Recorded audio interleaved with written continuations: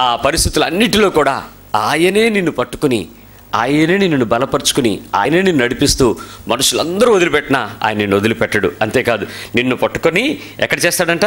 మహాజల రాశుల్లో నుంచి నేను తీసుకొస్తాడు. అది అప్పుల సముద్రమేమో అది నీ ఇంటి చుట్టుపక్కల ఉన్నటువంటి అవమానపు సముద్రమేమో లేక ఆ పరిస్థితులన్నిటిలో ఇక బయటికి రావటానికి నాకు ఏ ఆధారము కనపట్లేదండి దారి కనపడట్లేదు అద్దరి కనపట్లేదు అసలు రాగలనా వస్తానా? ఆయన నీతో అంటున్నాడు కదా అద్దరికి చేర్చడానికి ఆయన నిన్ను పట్టుకొని నిన్ను బయటికి తీసుకొస్తాడు నిన్ను నడిపిస్తాడు నిన్ను విడిపించేవాడు ఎప్పుడు నీ పక్కనే ఉన్నాడనే విషయాన్ని ధైర్యం తెచ్చుకొని విశ్వాసంతో పలకండి. ఎప్పుడు కూడా కృంగిపోవద్దు. ప్రియమల్లారా ఏ పరిస్థితులు నీ ఇంట్లో నడుస్తున్నాయో ఎలాంటి ఇబ్బందులను నడుస్తున్నావో ఆయనైతే తన మాటను ఎప్పుడు కూడా నీతో చెప్పడానికి చాలా ఆశగా ఎదురు చూస్తున్నవాడు ఆయన అంటున్నాడు కదా నేను నిన్ను చేపట్టుకుంటాను నేను నిన్ను నడిపిస్తాను నేను నిన్ను విడిపిస్తాను నిన్ను తీసుకెళ్తాను అని చెప్తున్నాడు ఆయన. కాబట్టి కంగారు పడకండి కలవరపడకండి ఆర్థిక పరిస్థితులు శారీరక పరిస్థితులు మానసిక పరిస్థితులు మరి కుటుంబ సంబంధమైన పరిస్థితులు ఇంకెక్కడైనా ఎక్కడైనా ఎక్కడైనా నువ్వు నలుగుతుంటే ఆయన ఖచ్చితంగా చెప్తున్నాడు నిన్ను విడిపిస్తాడు నిన్ను నుంచోబెడతాడు. మీ పక్క వాళ్ళకి ధైర్యంగా ఉండమని చెప్పండి. ఆయన నిన్ను చూస్తున్నాడు. నిన్ను పట్టుకుంటాడు నిన్ను బయటికి తీసుకొస్తాడు నిన్ను చేయి పట్టుకుని నించోబెడతాడు. ఉన్నత స్థలముల్లోంచి నిన్ను పట్టుకుంటాడు. ఆమెన్. మంచిది. దేవుని యొక్క వాక్యంలోనికి మనం ప్రవేశిద్దాం. దేవుని యొక్క మాటను మనం గ్రహించుకుంటూ దేవుని లోనికి మనం ఇంకా ముందుకు వెళ్ళటానికి సంపూర్ణంగా సిద్ధపడదాం. గడిచిన వారము ఈ ప్రదేశంలో ఉన్న మనందరికీ కూడా ఒక ప్రత్యక్షమైన విషయాన్ని మనం నేర్చుకున్నాం. ఏంటది? జలెడ సాతాను ఎక్కడ మనల్లో ఆ అపనమ్మకం కలగకుండా ప్రభువు నీ కొరకు చేసే ప్రార్థనను సైతం వాడు భయపడతాడు. కాబట్టి ఆ ప్రార్థన చేస్తున్న దేవుని యొక్క మాటలను గుర్తించి నేను కూడా ప్రార్థన చేస్తున్నాను అనే విషయం నువ్వు చెప్పగలిగితే సాతాను త్వరగా భయపడి బయటకు పోతూ ఉంటాడు. మరి అలాంటి చాలా విషయాలలో మనల్ని నమ్మలేని తనలోనికి తీసుకెళ్ళి మనల్ని కృంగదీస్తూ ఉంటాడు. ఈరోజు మరికొంచెం లోతుగా వెళ్ళి అసలు ఎలాగ దానిలో నుంచి బయటకు రావచ్చు? క్రైస్తవ మనస్సు ఎంత చక్కగా దేవుని మీద ఆనుకోవచ్చో? క్రైస్తవుడు ఎంత విశ్వాసంతో దేవుని నమ్మొచ్చో? క్రైస్తవుడు ఒకసారి దేవుని దగ్గరికి వచ్చిన తర్వాత మరి ఎప్పుడు సిగ్గుపడనక్కర్లేని పనివాడిగా దేవుడు ఎలా ఉంచుతాడో వాటిలో నుంచి ఆ పరిస్థితులన్నింటినీ మనం నేర్చుకుందాం. గమనించుకుందాం ప్రియులరా. ఒకసారి ఇర్మియా గ్రంథం ముప్పై రెండో అధ్యాయము ఇరవై ఏడో వచ్చిన ఒకసారి చదువుదాం. Jeremiah thirty two verse twenty seven. ఇర్మియా గ్రంథము ముప్పై రెండవ అధ్యాయము ఇరవై ఏడవ వచ్చిన ఇర్మియా ముప్పై రెండు ఇరవై ఏడు. నేను యెహోవాను నేను యెహోవాను సర్వ శరీరులకు దేవుడు సర్వ శరీరులకు దేవుడను. నాకు అసాధ్యమైనది ఏదైనా ఉండునా? అసలు ఏమైనా ఉందా అసలు? ఆయన అంటున్నాడు ఎవ్రీ ఫిజికల్ బాడీ ఉన్న ప్రతి వ్యక్తికి నేను దేవుణ్ణి. నీ కొరకు ఆయన చెప్పే మాట ఏంటో తెలుసా? నాకు అసాధ్యమైనది ఏమైనా ఉందా? ఏమైనా అసాధ్యం ఉందా? దేవుడికి అసాధ్యమైనది ఏమైనా ఉందా? ఒకసారి అడగండి ఎవరినైనా. ఉందా? ఏమీ లేదు. కానీ దేవునికి అసాధ్యమైంది లేదు అనే విషయం ఒకడికి బాగా తెలుసు. సాతానికి బాగా తెలుసు. నీకు ఇంకా పూర్తిగా తెలియదు మనుషులు ఏమనుకుంటారంటే అన్నీ జరిపోయినాయి అనుకోండి అబ్బా దేవుడు బాగా చూస్తున్నాడని అంటారు. ఏమన్నా బ్రేక్ పడింది అనుకోండి ఏడండి దేవుడు అంటారు. మీకు అర్థం కాల. వాడికి పూర్తిగా తెలుసు వాడికి కంప్లీట్గా దేవుని సంగతులు అర్థం చేసుకున్నాడు కాబట్టి ఎప్పుడు తొందరపడ్డో ఆడు నిరీక్షణ వాడికే ఉంటుంది. అయితే దేవుని యందు పూర్తి స్థాయిలో ఆయన దగ్గరకు వచ్చాను కాబట్టి నేను నమ్మినది వ్యక్తి కాదు నేను నమ్మినది రాజు కాదు నేను నమ్మినది బలము కాదు నేను నమ్మినది శక్తి కాదు. ఆయన సర్వోన్నతుడు. ఆయన సంపూర్ణుడు కాబట్టి ఖచ్చితంగా సర్వశక్తుడికి అసాధ్యమైనది ఏమీ లేదు అని నీ హృదయము నీ మనస్సు పూర్తిగా దేవుని మీద అనుకోగలగాలి మళ్ళీ చెప్తున్నాను. నీకేదైనా పెద్ద సమస్య ఉందా?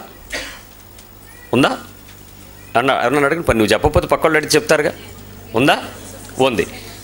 ఆ సమస్యను దేవుడు డీల్ చేయగలడని నమ్ముతున్నావు అని అడగండి. చేయగలడా? హ్యాండిల్ చేయగలడా? ఒకసారి ధైర్యంగా చెప్పండి నేను వాళ్ళకి చెప్పండి చేస్తాడు. నీ సమస్యకు దేవుడు డీల్ నీ సమస్యకు దేవుడు హ్యాండిల్ చేస్తాడు. ఆయనకి అసాధ్యం కాదు. కానీ నీకు నమ్మకం ఉందా? అక్కడే డౌట్ సమస్య ఇక్కడే ఉంది. నీ మైండ్ని పూర్తిగా దేవుని మీద ఆనుకోవాలి అని దేవుడు అనుకుంటున్నాడు. నువ్వేమో అపవాదికి తెలుసు వాక్యం తెలిసిన నీకు కొన్ని విషయాలు అర్థమవుతున్నాయి పూర్తిగా నీవు అర్థం చేసుకోలేకపోతున్నావు. నా దేవునికి ఇది అసాధ్యమైనది కాదు. ఎందుకంటే ఆయన శరీరులకు దేవుడు నాకు దేవుడు. ఆయన కులానికి మతానికి వర్గానికి వర్ణానికి ప్రాంతానికి కాదు. We cannot divide the God God is a God of universe అందుకని దేవుడు సర్వలోకమునకు ప్రభు అయి ఉన్నాడు. సర్వలోకమునకు రాజు అయి ఉన్నాడు అని బైబిల్ చెప్తుంది. కాబట్టి ఆయనకు అసాధ్యమైనది ఏమీ లేదు. సో అయితే యేసుక్రీస్తు వారి లోకంలోకి వచ్చి మనల్ని అందరిని ఏం చేశాడో తెలుసా? చూద్దాం. యోహన్ స్వార్త పదిహేడు అధ్యాయం పదిహేడు వచ్చిన జాన్ సెవెంటీన్ సెవెంటీన్. యోహన్ సువార్త పదిహేడు అధ్యాయము పదిహేడు వచ్చిన యోహ జాన్ సెవెంటీన్ సెవెంటీన్. సత్యమందు వారిని సత్యమందు వాణిని ప్రతిష్ఠ చేయము. ప్రతిష్ఠ చెయ్యము నీ వాక్యమే సత్యము. అంతే. సత్యమేంటి? వాక్యము. దేవుని యొక్క మాట సత్యమా? సేవకుని యొక్క మాట సత్యమా? నువ్వు దేనిలో ప్రతిష్ఠ చేయబడాలి?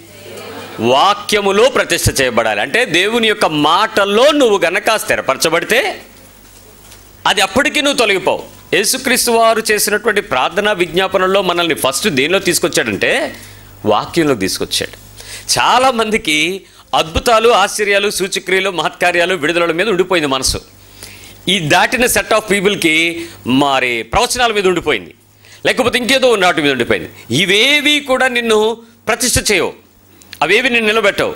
అవన్నీ సేవలో లేక విశ్వాసంలో నీతో దేవుడు పనిచేస్తున్నాడని చెప్పడానికి నువ్వు దర్శనాలే తప్ప దేవుడు ఉన్నాడా అన్నదానికి డౌట్ కలిగించేదైతే అసలు నీ ఫెయిత్ రాంగ్ నీ విశ్వాసమే తప్పు. నీ విశ్వాసం ఏంటి? యేసుక్రీస్తు ఉన్నాడు ఆయన ఎందు నేను నిలబడి ఉన్నాను నేను ఆయన మాటను బట్టి నమ్ముతున్నాను. That is what you faith చూసి నమ్ముతున్నావా చూడక నమ్ముతున్నావా? సో నువ్వు ధన్యుడివి. చూడక నమ్ముతున్నావు కాబట్టి నువ్వు ధన్యుడివి. నువ్వు చూడకుండా నమ్మాల్సిన ఒకే ఒక ఫైత్ ఏంటి? వాక్యం. ఆయన మాట నిలిచింది కాబట్టి మాటను బట్టే బతకాలి. ఈరోజు నీ జీవితంలో దేవుని మాటను బట్టి కాక ఇక దేనిని బట్టి నువ్వు నమ్ముతున్నా నిన్ను అపవాది ఆల్రెడీ పక్కదో పట్టించేశాడు చూసుకో. రాంగ్ ట్రాక్లో ఉన్నావు. అయితే ఎందుకు ఆ విషయం చెప్తున్నాడు? ముప్పై మూడు ఇర్మియా ముప్పై మూడు రెండు. Jeremiah thirty three two. Two and three. ఇర్మియా ఇర్మియా గ్రంథం ముప్పై మూడు రెండు మూడు వచనాలు. మాట నెరవేర్చి యెహోవా. మాట నెరవేర్చు యెహోవా. స్థిరపరచవలనని దానిని నిర్మించి యెహోవా. ఏంటి? మాట నెరవేర్చు యెహోవా. మాటను స్థిరపరచవలనని దానిని నిర్మించు దాన్ని బిల్డ్ చేసేవాడైనటువంటి యెహోవా. యెహోవా అను నామం వహించిన వాడే. ఇలాగు ఎలా సెలవిచ్చున్నాడు చెప్తున్నాడు? నాకు మొరపెట్టుము. నన్ను అడుగు. నేను నీకు ఉత్తరం నేను ఇచ్చేది నీతో మాట్లాడతాను. నీవు గ్రహింపలేని గొప్ప సంగతులను ఆ. గూఢమైన సంగతులను గొప్ప సంగతులు గోడమైన సంగతులు నేను నీకు తెలియచేతును సో దేవుడు ఇక్కడ పార్షియల్ కాదే? ఎవరో పాస్టర్కో ప్రవచనం చెప్తానన్నాడు. నీతో ఎందుకు చెప్పడు? తెలియక అలాంటి ప్రవచనాల కోసం అలాంటి అద్భుతాల కోసం అలాంటి లోకం కోసం కొంతమంది తిరుగుతున్నారు. అయితే వాళ్ళు ప్రతిష్ట చేయబడాల్సిందల్లా వాక్యంలోనే. యేసుక్రీస్తు వారు ఎప్పుడు కూడా వాటిని నమ్మని చెప్పలేదు. వాటి వైపు ఆయన తీసుకెళ్ళలేదు. ఆయన నడిపించి నడిపింపలా లేదు. అయితే సాతాను మనల్ని రూట్ కొంచెం ఇలా తీసుకెళ్ళడానికి కారణం ఏంటంటే అక్కడ స్టార్ట్ చేస్తున్నాడు ఇప్పుడు. ఈ నవడేస్ ప్రపంచం మన మనస్సును కొంచెం గందరగోళంలోకి తీసుకెళ్ళి కొంచెం కన్ఫ్యూజ్ చేసి దేవుని యొక్క మాట దాటి మనల్ని కొంచెం ముందుకు వెళ్ళటానికి ప్రయత్నం చేస్తున్నాడు. ఎందుకనంటే ప్రతి సందర్భంలో కూడా చాలా విషయాలలో మనకు మనముగానే దేవుని సన్నిధిలో నుంచి తొలగిపోవటానికి అవకాశం ఇస్తున్న అపవాది మాట వింటున్నాం తప్ప నిన్ను స్థిరపరుస్తానని చెప్తున్న దేవుని మాటను మనం వినలేకపోతున్నాం. సో నువ్వు వినాల్సింది నీ మనసుని స్థిరపరచుకోవడానికి దేవుని మాట మీద లేక అపవాది స్వరం మీద? సో గమనించండి సాతాను మనల్ని ఎక్కడ ఏ ఏ పరిస్థితుల్లో మోసగిస్తున్నాడో మన మైండ్ని వాడు కంట్రోల్ చేస్తున్నాడో మనం తెలుసుకొని దానిలో నుంచి దేవుని యొక్క వాక్యంలోనికి సంపూర్ణంగా ప్రతిష్ఠ చేయబడదాం. దానిలో నిలబడడానికి ప్రతిసారి ఇష్టపడదాం. యోహన్ స్వార్త పదమూడో అధ్యాయం. పదిహేను వచ్చిన జాన్ థర్టీన్ ఫిఫ్టీన్. యోహన్ స్వార్త పదమూడు పదిహేను. నేను మీకు చేసిన ప్రకారము మీరును చేయవలనని నేను నీకు చేసిన ప్రకారము మీరు కూడా చేయండి. ఏం చేయాలి? మీకు మాదిరిగా ఇలాగు చేసి ఇలాగ చేసి దాసుడు తన యజమానుని కంటే గొప్పవాడు అక్కడ కాడు. చాలా విషయాలు బోధ చేసుకుంటూ వస్తున్నాడా లేదా? యోహాన్ స్వార్త పదమూడు అధ్యాయం పదిహేను నుంచి ముప్పై వచనాల వరకు ఆయన కంటిన్యూగా ఒకదాని తర్వాత ఒకటి విషయాన్ని చెప్పుకుంటూనే వస్తున్నాడు. ముప్పై. ఇరవై ఇరవై తొమ్మిది. డబ్బు సంచి యూదా వద్ద ఉండిన గనుక పండుగకు తమకు కావాల్సిన వాటిని కొనుమని ఆయనను బీదలకేమైనా ఇమ్మని ఆయనను యేసు వానితో చెప్పినట్టు కొందరు అనుకొనిరి. వాడు ఆ మొక్క పుచ్చుకొనిన వెంటనే బయటకు వెళ్ళెను. అప్పుడు రాత్రి వేళ ఏం జరిగింది మొక్క పుచ్చుకున్నాక? మనకు తెలుసు. అంతవరకు బాగానే ఉన్నాడు. ఉపన్యాసం వింటున్నప్పుడు బాగానే ఉన్నాడు. డబ్బులు పక్కన ఉన్నప్పుడు బాగానే ఉన్నాడు. ఈ పనులన్నీ జరుగుతున్నప్పుడు బాగానే ఉన్నాయి. అందరికీ వేరొక ఇంప్రెషన్ కలుగుతుంది. కానీ అతడి లోపల వేరొక విషయం జరుగుతుంది. మనము దేవుని దగ్గరకు వచ్చి దేవునిలో ఉన్నామనుకుని దేవుని సేవ చేస్తున్నామనుకుని బయట వాళ్ళకి కనపడుతున్న ఇంప్రెషన్స్ వేరు. బట్ నీ ఇన్నర్ ఇంటెన్షన్ ఈజ్ డిఫరెంట్ అక్కడ సాతాను బయటికి నువ్వు ఒకలా కనపడుతున్నా లోపల నిన్ను మరొకలాగా ఆయన నిన్ను చూస్తానికి ప్రయత్నం చేస్తున్నాడు. జాగ్రత్త. సాతాను నిన్ను ఎక్కడ మెలుకుగా నిన్ను పడగొడుతున్నాడో చూసుకోండి. ఆ విషయాలను మనం గుర్తు చేసుకొని దాని నుంచి బయటికి రావాల్సి ఉంటుంది. అయితే అప్పగించుకున్న తర్వాత అతను తప్పిపోవటం మనకు తెలుసు. అయితే అదే మనిషి దేవుని దగ్గరికి వచ్చి మొరపెట్టి ప్రభు నేను నీలో స్థిరపరచబడతాను. నాకు సహాయం చేయనంటే పేతురు కన్నా బ్రహ్మాండంగా యోధాన్ని దేవుడు వాడుకునేవాడు. ఈరోజు అక్కడ లోబడలేక బలహీనలై కృంగిపోతూ ఉన్నారు. గమనించండి ఈరోజు నేను మీతో చాలా సున్నితమైన విషయం బహుశా నువ్వు దీన్ని నమ్మొచ్చు నమ్మకపోవచ్చు కానీ ఒప్పుకోవచ్చు ఒప్పుకోకపోవచ్చు కానీ నువ్వు తెలుసుకోవడం ద్వారా తప్పులోకి వెళ్ళవు అనేటువంటి ఉద్దేశంతో నేను ఈ విషయాన్ని నీకు నేర్పిస్తానికి ప్రయత్నం చేస్తా ఉన్నాను. ఎందుకు సాతాను మనల్ని శోధిస్తాడో జ్ఞాపకం చేసుకుంటే మనకున్నటువంటివన్నీ మూడే మార్గాలు. సాటర్ని టెంప్ట్ చేసే మూడే మార్గాలు. ఒకసారి చూడండి ఫస్ట్ జాన్ టూ సిక్స్టీన్ మొదటి యోహాను రెండో అధ్యాయం పదహారు వచ్చును ప్రతి ఒక్కళ్ళు మీరు రాయగలిగితే దీన్ని చేతితో కాగితం మీద రాసుకుని ఒక అట్ట మీద రాసుకుని లేకపోతే మీరు ఏదైనా ఒక రైటింగ్ బోర్డు ఏదైనా పెట్టుకుని నీ ఇంట్లో ఎవ్రీడే ఒక వాక్యం అక్కడ రాసుకోవడానికి ప్రయత్నించండి. ఆ రోజంతా అదే మాట చెప్తా ఉండండి. దాని వైపు చూస్తూ మాట్లాడండి. ఇదిగో మాట ఇలా ఉంది దీని ప్రకారం నేను ఇలా అని చెప్తూ ఉండండి. ఎప్పుడైతే మీరు కీప్ ఆన్ టెలింగ్ ఆ వర్డ్ని మీరు చూస్తూ దాని గురించి మీరు ప్రకటిస్తారో అది నీ శరీరంలో రూపం తీసుకుంటుంది. కార్య కార్యాభివృద్ధి జరిగిస్తుంది. అది ఒక పార్ట్గా నీ శరీరంలోకి వస్తుంది. అట్లా వచ్చినప్పుడు నీవు మోసం చేసుకోబడకుండా ఉండడానికి ప్రయత్నం చేస్తావు ఫస్ట్ జాన్ టూ సిక్స్టీన్ రెండో అధ్యాయం పదహారు వచ్చిన. లోకములో ఉన్నదంతయు. అనగా అనగా శరీరాశయు. లోకంలో ఏమేమి ఉన్నాయి? శరీరాశ నేత్రాశయు నేత్రాశ. జీవపు డంబమును ఆ, ఈ మూడు ఎక్కడి నుంచి వచ్చినాయి?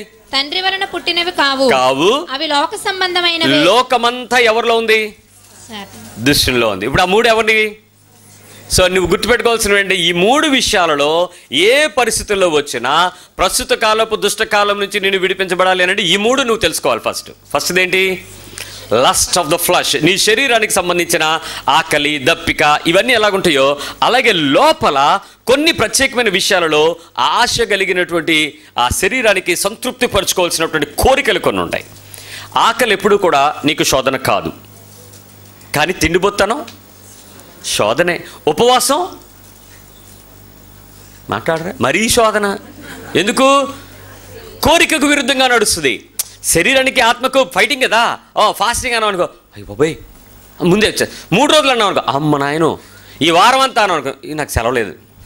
ఇమ్మీడియట్గా ఒక రీజన్ దొరికేస్తుంది. ఎందుకు? అది భయంకరమైనటువంటి పరిస్థితి. శరీరానికి ఉండేటువంటి ఆశ వేరు శరీరమును తృప్తిపరచుకునేటువంటి ఆశ వేరు. అలాగే నేత్రాశ కూడా కన్నులతో విషయంలో కూడా మరి నిద్రపోవచ్చు దర్శనాలు చూడొచ్చు ప్రత్యక్షంగా చూసి నేర్చుకోవచ్చు చాలా జరగచ్చు. కానీ చూసిన వల్లే నాకు కావాలి అది నా దగ్గరకు ఉంటే చాలు ఆ ఒక్కటి నేను పొందుకుంటే చాలని ఏని కొరకైతే నీవు నీ కన్నుల్ని పెట్టుకుంటున్నావో అక్కడ నువ్వు మోసగించబడతావు. మూడోది జీవపు డమ్మం అంటే lust of the pride of the life నీకు ఉన్నది లేనట్లుగా లేనిది ఉన్నట్లుగా బయటకు కనిపించేటువంటి డంబము పరిశుద్ధాత్మ శక్తి ద్వారా సాతానును జయించలేనప్పుడు దానిలో పడిపోతూ ఉంటాం. మోసగించబడినటువంటి నటన క్రైస్తవ్యాన్ని రంగుగా చూపించుకొని బతుకుతూ ఉంటాం. ఈ మూడు నువ్వు గుర్తుపెట్టుకోవాల్సింది ఏంటంటే నిన్ను టెంప్ట్ చేసి నిన్ను దానిలో ఎక్కడో చోట ముంచి అక్కడ నుంచి బయటికి రాకుండా మాత్రం నిన్ను ఉంచబెడతా అంటాడు. శరీరాశ?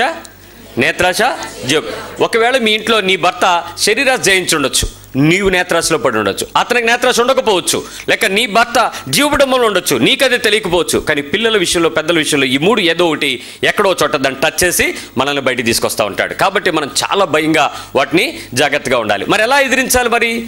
ఈ మూడు విషయాల్లో మనకున్నది ఒకటే దారి.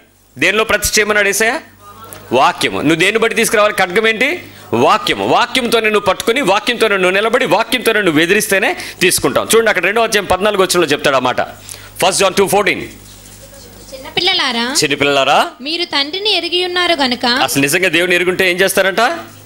ఆ, మీకు రాయబడింది. తండ్రులారా మీరు ఆది నుంచి ఉన్న వాటిని?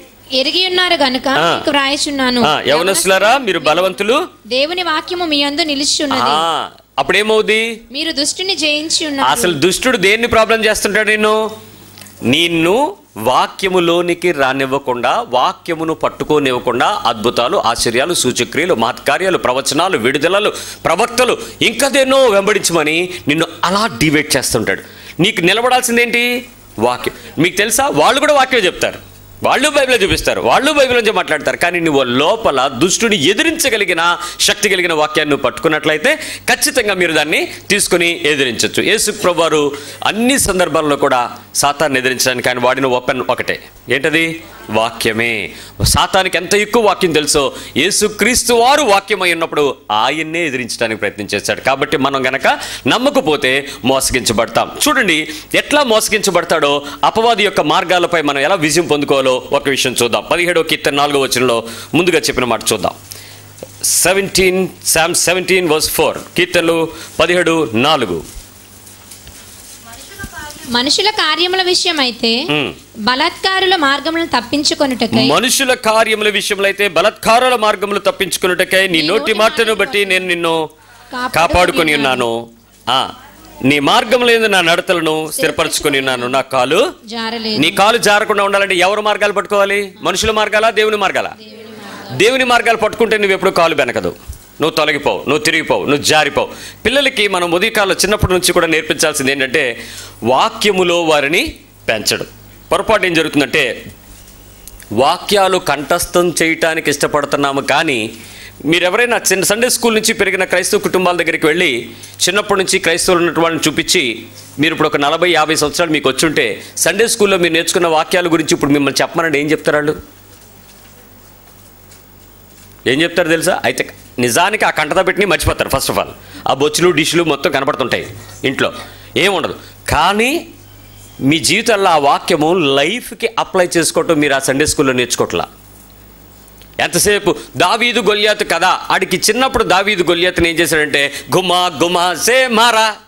అదే గుర్పించింది ఎలీషా నైమాన్ బుడ బుడ మునిగి లేచాడు బుడ బుడ మునిగి లేచాడు. ఆడు ఎందుకు మునిగాడు? ఎందుకు లేచాడు? వాడి దగ్గర నదులు లేవన్న విషయం వాడు మాట్లాడే విషయం మనం చెప్పినా వినరు ఇంకా. ఎందుకు?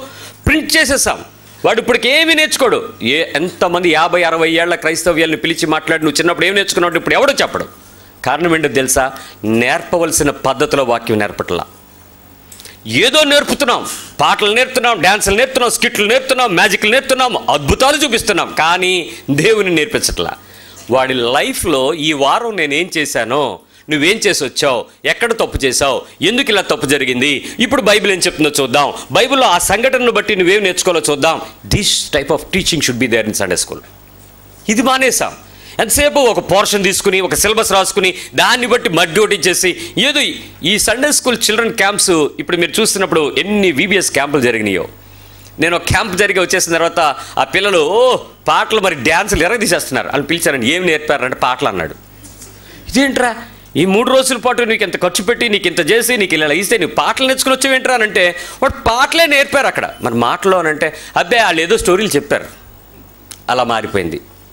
ప్రయాసపడుతున్న సేవకుడా నిన్ను అపవాది తప్పిస్తున్నాడు చూసుకో. You are already out from the God's will నువ్వు చేయాలి అనుకుంటున్న అంబిషన్ వేరు జరిగిస్తున్న పని వేరు. ఏదో ఒకటి జరుగుతుంది కదా అనుకుంటున్నావు వేరు. తొంభై తొమ్మిది విత్తనాలు నేల మీద పడటం లేదు. ఎక్కడో రోడ్ల మీద పడుతున్నాయి చూసుకో. ఎత్తుకుపోతున్నాడు. కారణం ఏంటి? ఫోకస్ ఇస్ గుడ్ బట్ దాని నుంచి వచ్చే రెమెడీ ఇస్ బ్యాడ్ ఇక్కడ సాతాను మనల్ని పనిచేస్తూ ఉన్నాడు. అందుకే దేవుని మార్గాల్లోకి రండి. దేవుని మార్గాలను బోధించుకోండి. దేవుని మార్గాలు మార్గాలు నేర్చుకోండి. దేవుని మార్గాల్లో ప్రదర్శించబడండి మించి నువ్వేం చేయదు వాళ్ళు చెప్పేది వాక్యం కాదా? అది వాక్యమే. వాళ్ళు నేర్పించేది వాక్యాలు కాదా? అవి వాక్యాలే. కానీ ఎందుకు రిజల్ట్ రాలేదు? రాతి నెలని పడుతున్నాయి. నువ్వేం చేయాలో దాన్ని చేయకుండా ఏదో చేయాలని ఏదో ఒకటి చేస్తుంటే ఎప్పటికీ నీ ఎంటర్టైన్మెంట్ బేసే తప్ప స్పిరిచువల్ బేస్ అవ్వదు. దయచేసి దీనిలో మనం దేవుని మార్గాల్లోకి ఖచ్చితంగా యేసు ప్రభు ఉపయోగించినటువంటి వాక్యానుసారమైన పద్ధతిలోకి మనం నడవడానికి ప్రయత్నించేయండి ఎఫ్సి పత్రిక ఆరో అధ్యాయము పదిహేడు వచనంలో ఆయన మనం వాడుకోమన్నటువంటి వస్తువు చూద్దాం. మనకు ఒక వస్తువు ఇచ్చాడు. ఎఫిషియన్ సిక్స్ సెవెంటీన్ మరియు. రక్షను శిర- రక్షణ అను శిరస్త్రానమును. దేవుని వాక్యమున ఆత్మ ఖడ్గమును ఏం ధరించుకుని ధరించుకోవాలి నువ్వు ఎప్పుడు? రక్షణ అను శిరస్త్రానం శిరస్త్రాణంతో పాటు వాక్యము అనేటువంటి ఆ ఆత్మ ఖడ్గాన్ని ధరించు. వాక్యం పట్టుకుని వెళ్ళాలి. నేను మొన్న నా బ్యాగ్ పట్టుకుని ఒక చోట మీటింగ్ వెళ్తుంటే ఒక తమ్ముడు చాలా పరిగెత్తుకుంటూ ఆసక్తిగా చాని బ్యాగ్ ఇవ్వండి అన్నయ్య అన్నాడు. ఏమ్మా? "ఆ, నేను పట్టుకుంటాను అన్నయ్య అన్నాడు అవునరా యుద్ధానికి నన్ను పిలిచావు. కత్తి నువ్వు లాక్కెళ్ళిపోతే పరిస్థితి ఏంటి? ఈ బ్యాగ్ ఎక్కడో ఆడవాళ్ళు ఎవడో పెట్టేసి ఇంకో పాస్ట్ ఎవడో పిలిచండి బ్యాగ్ ఎక్కడో పెట్టాడు వెళ్ళిపోయాడు అనుకోండి. ఇప్పుడు నేను బ్యాగ్ కోసం ఎక్కడ తిరగను? నా బైబిల్ దానిలో ఉండిపోయింది. నా వెపన్ బైబిలే వాక్యమే. ఎప్పుడు యుద్ధంకి వెళ్ళేవాడు ఆడి కత్తి ఆడు మోసుకొని నువ్వు వెళ్ళాను. అప్పుడు ఆడు పక్క వచ్చి అది కరెక్టేనా ఉన్నాయి కాకపోతే కొంచెం మీ పెట్లు మోస్తే మాకు ఆశీర్వాదం. ఎక్కడుంది అది పెట్లు మోస్తే ఆశీర్వాదమా? టాయిలెట్లు కడితే ఆశీర్వాదమా? అరే అది దట్స్ యువర్ డ్యూటీ ఏదో వస్తుందని నువ్వు చేస్తే అది లాభాపేక్ష. బిజినెస్ బిజినెస్ దేవుడు దీవించడు. హంబుల్ సర్వీస్ నువ్వు చేయగలిగిన కృతజ్ఞతాపూర్వకంగా ఏది ఆశించకుండా నువ్వు చేస్తే అది దేవుని దీవెన. నీకు వచ్చేది అంతే. అంతేకాని కానుక ఇచ్చేటప్పుడు మీకు ఇస్తే మాకు దీవెన. పోయింది అక్కడే. ఇస్తే నాకేదో వస్తుందని నువ్వు ఆశించవు పోయింది. అపాది ఆల్రెడీ నేను డైవర్ట్ చేసేసాడు. నీకు తెలియాల్సినవి చాలా ఉన్నాయి కాకపోతే మనం ఆ మోసలో పెంచబడి ఆ మోసంలో నుంచి ఈ జీవపు డమ్మంలో పడి బయటకు రాలేకపోతున్నాం. ఏం చేస్తాడో చెప్తాను. జాగ్రత్తగా వినండి ఈరోజు. యోహన్ స్వార్త పన్నెండు ముప్పై ఒకటి. John twelve thirty one. పన్నెండు ముప్పై ఒకటి. ఇప్పుడు ఈ లోకమునకు తీర్పు జరుగుచున్నది. ఇప్పుడు ఈ లోకానికి తీర్పు జరుగుతుంది. ఇప్పుడు ఈ లోక అధికారి బయటకు త్రోసివేయబడును. ఎవరి లోకాధికారి? తీర్పు వచ్చినప్పుడు వాడు ఎక్కడికి వెళ్తాడు?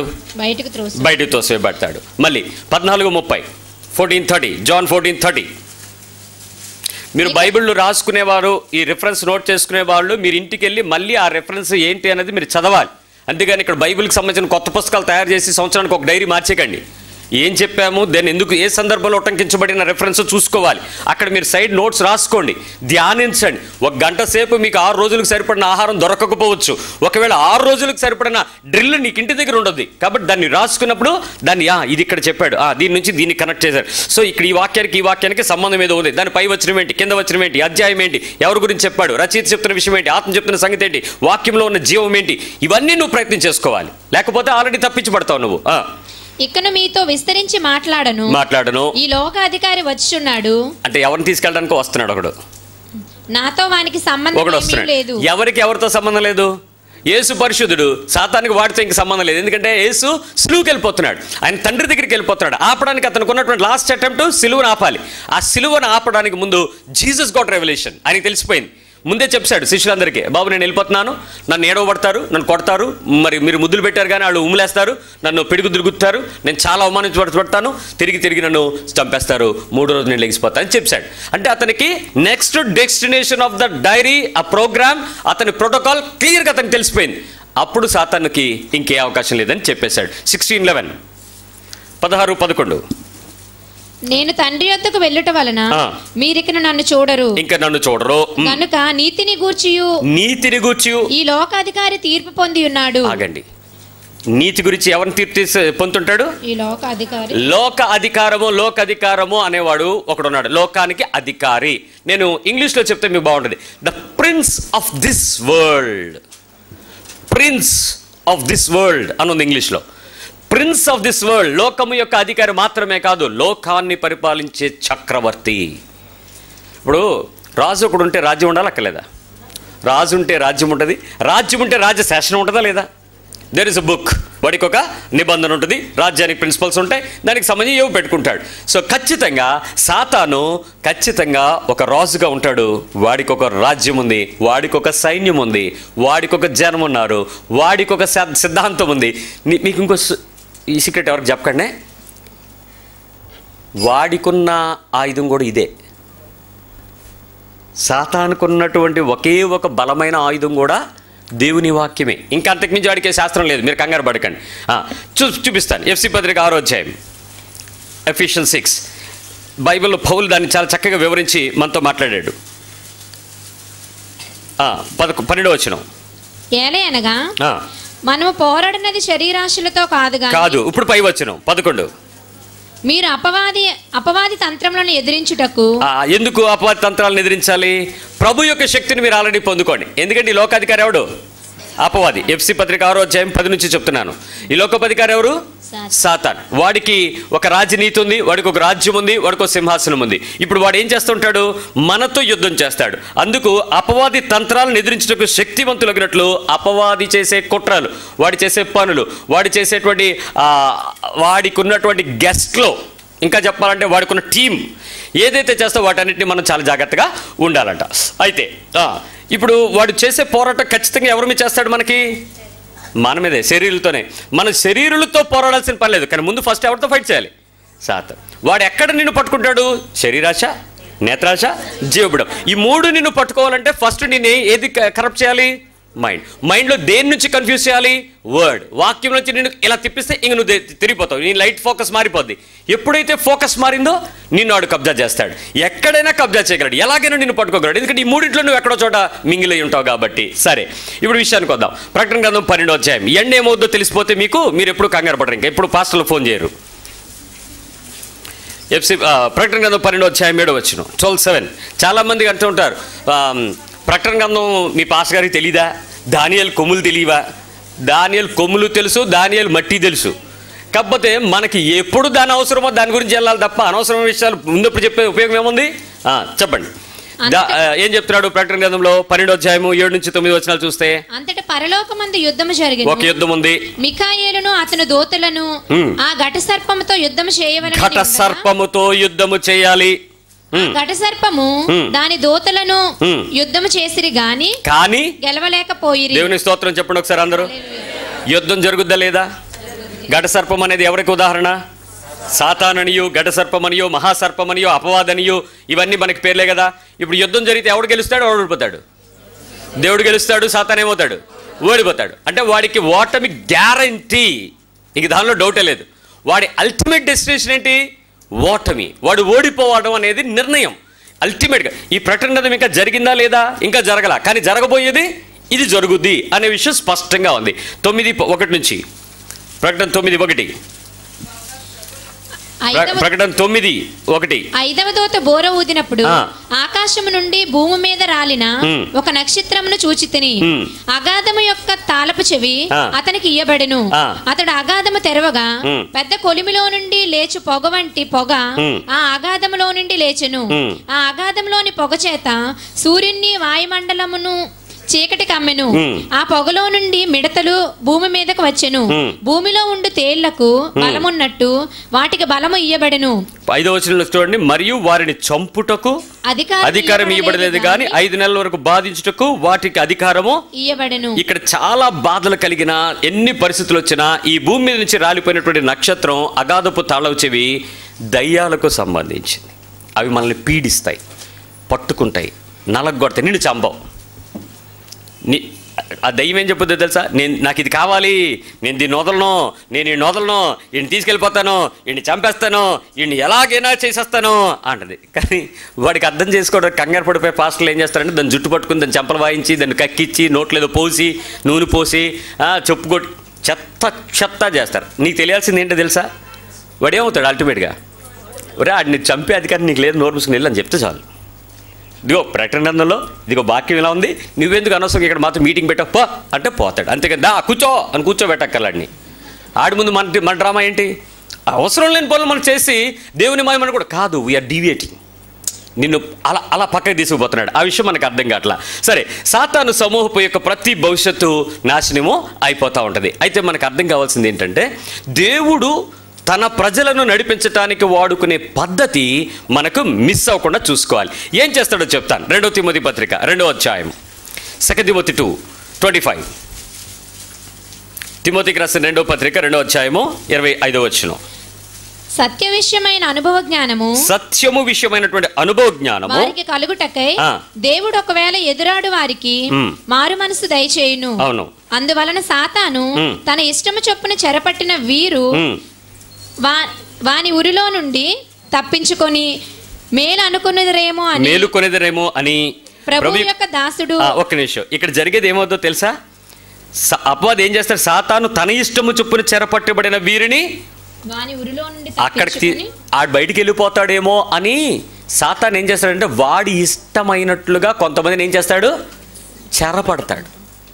నిన్ను బ్లాక్ చేస్తాడు. నిన్ను బంధించుకుంటాడు.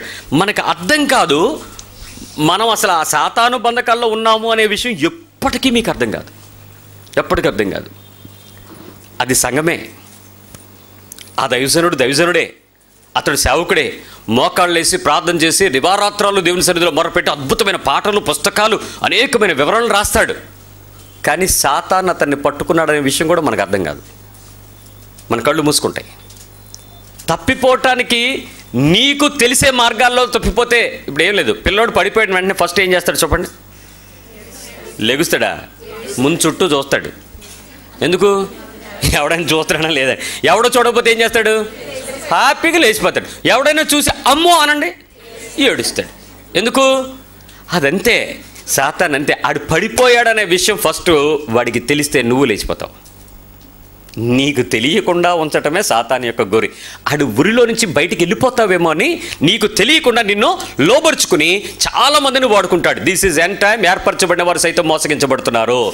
గొప్ప గొప్ప వారు ప్రాస్పరిటీ గోస్పల్ బోధిస్తున్నారు ఈరోజు. అంటే మీరు ఇవ్వండి మీకు ఇవ్వబడతాయి మీరు విత్తండి మీరు పొందుకోండి సో చేయండి సీడ్ వేయండి అని చాలా రకాల మాటలు మీరు వింటున్నారంటే దెర్ ఇస్ అన్ సిన్ అక్కడ అపాది నిన్ను పక్క తీసుకెళ్ళిపోయాడు. చాలామందికి మరి మ్యూజిక్స్ మరి కొంతమంది పోయారు. సాంగ్స్ వర్షిప్పింగ్ అక్కడ కొంతమంది విగ్రహంతో పోయారు. చాలా రకాల పరిస్థితుల్లో వర్డ్ అని చెప్పి అదే వాక్యమే అని చెప్పి అక్కడ కూడా చాలా మంది మోసపోతున్నాం. అనేక మంది తళుకు బిడుకులతో ఎక్కడ చూసినా డబ్బు ఖర్చు పెట్టుకునేటువంటి పరిస్థితి కానీ రిజల్ట్ వచ్చేది కాదు. మోసగించబడతాం. మనకు తెలియదు మనం అనుకునేది అక్కడే. మనం విశ్వాసంతో ప్రకటిస్తున్నాం విశ్వాసంతో విత్తుతున్నాం విశ్వాసంతో దేవుని రాజ్యం విశ్వాసంతో దేవుని పరిచయం. సారీ టు సే నువ్వు ఆల్రెడీ దానిలో బంధించబడ్డావు అనే విషయం కూడా నీకు అర్థం కాదు. నీకు అర్థమయ్యాల్సిందల్లా ఒకటే పరిశుద్ధాత్మ దేవుడు నీ లోపల నీతి గురించి పాపం గురించి ఒప్పిస్తూ నిన్ను గొప్ప ఆస్తిపరుడుగా చేయడు నిన్ను గొప్ప పరిశుద్ధుడిగా చేస్తాడు.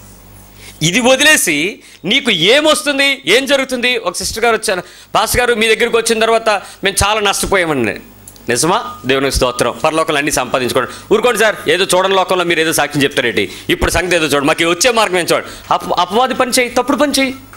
సింపుల్. పరిశుద్ధమైన పని చేస్తే నీకేమైనా వస్తుందా? రిజల్ట్ ఏంటి? బ్యాడే. నువ్వు ఆ యేసుప్రభు ఎలా అవమానపరచబడో నీకదే జరుగుద్ది. అంతకుమించి నీకేం కొత్త మార్గాలు లేవు. కానీ ఇక్కడే నీకు జరిగేటువంటి మోసం ఎలా జరుగుద్దో చెప్తాను. ప్రతిసారి కూడా మనం తప్పు చేసేటువంటి విషయం దుష్టుని ఎందు వాడు మొత్తాన్ని ఉంది కాబట్టి పొరపాటున ఎవడైనా బయట ఉన్నట్టు వాడు ఏం చేస్తాడు చెప్పండి? లాగేస్తాడా? చూడండి మొదటి యోహాన్ ఐదు పంతొమ్మిదిలో చెప్తాడు అన్నమాట. ఫస్ట్ జాన్ ఫైవ్ నైన్టీన్ యోహాను పత్రిక మొదటి యోహాను పత్రిక ఐదో అధ్యాయము పంతొమ్మిదో వచనం.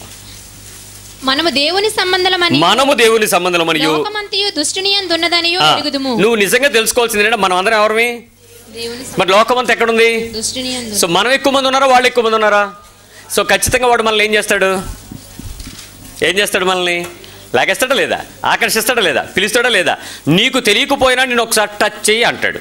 బైబిల్లో ఎన్ని సంఘటనలు లేవు? అలా ప్రతిసారి కూడా మోసపోయింది. యేసుక్రీస్తు నందు ఉన్నటువంటి వారికి మనకి తెలియాల్సింది ఏంటంటే ఈ యుగ సంబంధమైన దేవత వారి మనోనేత్రాలకు ఏం చేస్తుందట? గుడ్డితనం కలిసి గుడ్డితనం అని అంటే నేను ఇప్పుడు లోపలికి వచ్చేటప్పుడు నా కళ్ళద్దాల్ని వాటర్తో కడిగి దాన్ని మళ్ళీ శుభ్రం చేసుకుని అప్పుడు నేను పెట్టుకొచ్చాను. ఎందుకో తెలుసా? నా కన్నులు మిమ్మల్ని చూడాలి అని అంటే నా అక్షరాలు నేను చదవాలంటే నా గ్లాసెస్ ఎలా ఉండాలి? ఇట్ షుడ్ బి క్లీన్ శుభ్రంగా ఉండాలి. ఒకవేళ గుడ్డితనంగా దీన్ని చేతులతో బాగా ముట్టి దీనికి జిడ్డు జిడ్డు చేశారనుకోండి అప్పుడు నా కన్నులు కనపడతాయి బాగా?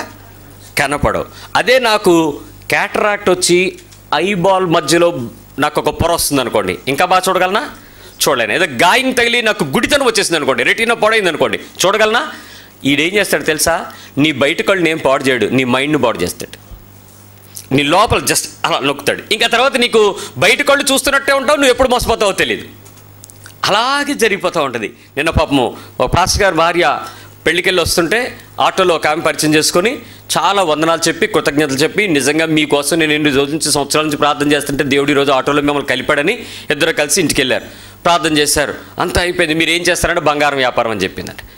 ఏముందమ్మా ఐదు నిమిషాల్లో మీకు ఏముంది పా- గారు? ఇంతకంటేనా? దేవుడు చూసారా ఎంత చక్కగా కలిపాడో నన్ను నిన్నని చెప్పి ఇద్దరు మాటలో పడ్డారు. ఈవిడ దగ్గర ఎనిమిది తులాలు బంగారం ఉంది తీసుకొచ్చింది నీళ్ళల్లో పెట్టింది కడిగింది తీసుకెళ్ళి ఆవిడకి ఇచ్చేసింది. ఆవిడ తీసుకెళ్ళి లోపల పెట్టింది ఈవిడ వెళ్ళిపోయింది. ఫినిష్. ఆదివారం వేసుకుందామని తీసింది. అవన్నీ సగానే సగం అయిపోయి మొత్తం కరిగిపోయి బంగారం అంతా. ఎరుపు వచ్చేసింది మెరుపు వచ్చేసింది బంగారం కరిగిపోయింది. ఇప్పుడు ఆవిడ సాక్ష్యం చెప్తుంది. నేను మోసపోయాను. ఎలా మోసపోయింది? ఏ ముసుగులో మోసపోయింది? కళ్ళు కనపట్లా? కనబడుతున్నాయి ఏం జరిగింది ఇప్పుడు? లోపల బయట అయిపోయింది. బ్లాక్ అయిపోయింది. ఈవిడ మాటలకు మోసపోయింది. ఆవిడ సేవకురాలని ఇంట్లోకి వచ్చి భోజనం చేసి బంగారం తీసుకెళ్ళి మొత్తం తీసుకెళ్ళి నీళ్ళలో పెట్టేది చేసింది. మొత్తం ఆ కెమికల్ దాన్ని అంతటిని అరగ తీసేసింది. మోసం అయిపోయిందట. ఆయన చెప్తున్నాడు పాస్ గారు ఒకసారి సిఏ గారితో మాట్లాడినాను. దేనికి రా? మా ఆవిడ బంగారం. నేను ఎందుకు మళ్ళీ మధ్యలో నువ్వు వెళ్ళు కంప్లైంట్ ఇచ్చుకో. ఈ తలనొప్పి మనం పడలేం మనం. మోసగించబడటానికి నీ కళ్ళ ముందే జరుగుద్ది. వాడు నీ మైండ్ని చేస్తాడు. ఏం చేస్తాడో మీకు తెలుసా? ఎలా మీ మైండ్ని బ్లాక్ చేస్తాడో తెలుసా? నేను ఎక్కడికి డివైడ్ చేస్తాడో తెలుసా? మీరు కోపగించుకోవద్దని చెప్పాను కదా కాబట్టి నువ్వు తెలియడం కోసం నీకు ఆ విషయాలు నేర్పిస్తున్నాను. దాన్ని ప్రయత్నం చేసి అర్థం చేసుకోవడానికి ప్రయత్నం చేయండి. ఎప్పుడూ కూడా వాడు ఒకే ఒక పని చేయడానికి ప్రయత్నం చేస్తాడు. ఏంటనంటే ఏదో ఒక పరిస్థితుల్లో నీ మనసులో వాక్యము నుంచి విగ్రహం తీసుకెళ్తాడు. దట్స్ ఫస్ట్ డిఫీట్ వాడు నీతో చేసేది. ఎక్కడి నుంచి ఎక్కడ తీసుకెళ్తాడు? వాక్యము నుండి విగ్రహానికి. నీకు వాక్యం ఇంపార్టెంట్గా నీకు గుర్తొస్తూ ఉంటుందా? మనిషి ఎదురుగా కనపడితే బాగుంటుందా? నేను ఒకసారి మా హైందవ మిత్రుల్ని కొంతమందిని అడిగినాను. ఎందుకు రానంటే అరే విగ్రహము నిగ్రహానికి రా అన్నాడు. మనకి ఏకాగ్రత కలిగించడానికి విగ్రహం ఉండాలి. అది శాస్త్రం. అది కావాలరా అన్నాడు. మనకేం కావాలి? విగ్రహమా? నిగ్రహమా? వాక్యం కావాలి. మనం వాక్యం తీసుకో నీ మైండ్ ఫుల్గా వర్డ్ ఉంటే నువ్వు ఎప్పుడు బయటికి వెళ్ళావు. నీ నోటి నిండా వాక్యం ఉంటే నువ్వు ఎప్పుడు బయటికి వెళ్ళావు. నీకు తెలియాల్సింది వాక్యమే అయితే నువ్వు ఇప్పుడు ఎప్పుడు కూడా మోసగించబడు సరే సాతాన్ ఎక్కడ చేస్తాడంటే నీకు తెలియకుండానే నిన్ను విగ్రహంలోకి తీసుకెళ్ళిపోతాడు. మీరు మొదటి కొరింథీ పత్రిక ఎప్పుడైనా చదివారా? పదో అధ్యాయంకి రండి.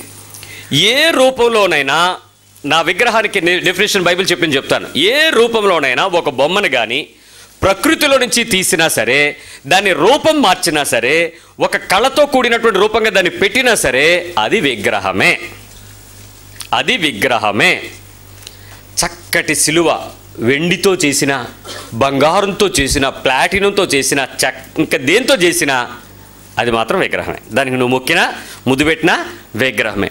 యేసుప్రభు వారు ఆర్సిఎం స్కూల్లో ఇలా ఉంటాడు. ఆ మీదన. ఎల్లోళ్ళందరూ ఆయన చూసి ఒక కిసి ఇచ్చి వెళ్తుంటారు సెల్యూట్ పెట్టేవారు సైకిల్ మీద వెళ్ళినోడు దిగినోడు ఒకడు.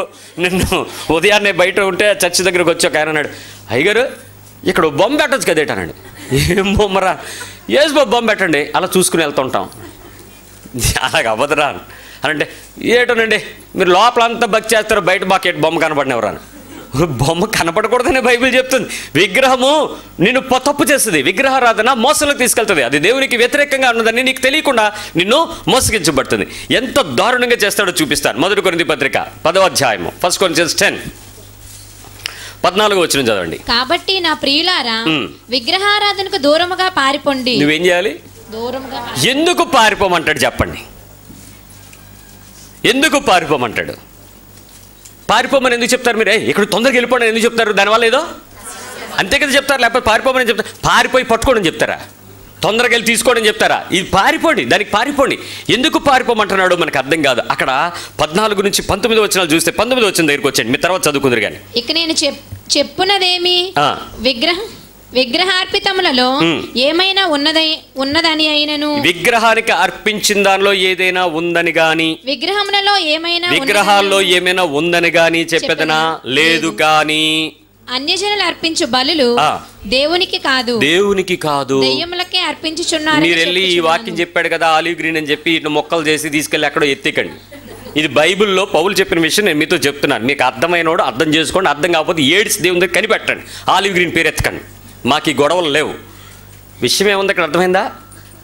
ప్రసాదం తినొచ్చా? దానికి ఒక పెద్ద ఆర్గ్యుమెంటు ఎవరినైనా ప్రశ్నించండి అంటే ఈ మూర్ఖపు ప్రశ్నలు తప్ప కొత్త ప్రశ్నలు రావిడికి ఎంతసేపు? ఇక్కడ క్లియర్గా ఉంది. అర్పించిన దానిలో గొప్పతనం లేదు.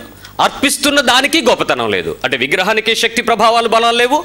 అర్పిస్తున్న ప్రభా ప్రసాదంలో కూడా ఏమి ప్రత్యేకతలు ఏమి లేవు. అయితే అర్పిస్తున్నది ఎందుకు అని అంటే వాళ్ళు ఎవరికి అర్పిస్తున్నారు? దేవునికి కాదు. దయ్యములకు. లోకం అధికారి ఎవడు? వాడు. అందుకు వాడు ఏం చేస్తాడు? వాడు ఆ ప్రదేశంలో దేవుని యొక్క స్థానాన్ని చూపిస్తాడు. వాళ్ళందరూ ఏమంటారు మరి? దేవుడు అని అంటారు. సరే అది నా గొడవ కాదు. దాన్ని బయటకు వచ్చేద్దాం. అయితే ఈ విగ్రహాల్లో ఏమీ లేదనే విషయం చెప్తున్న మనల్ని క్రైస్తవుడు అనేవాడిని అపవాది ఇక్కడ క్యాష్ చేసుకోవడం ప్రారంభించాడు. క్రైస్తవ విగ్రహాలను తయారు చేయడం ప్రారంభించాడు. ఇక లాభం లేదు. ఇది మారుద్దాము.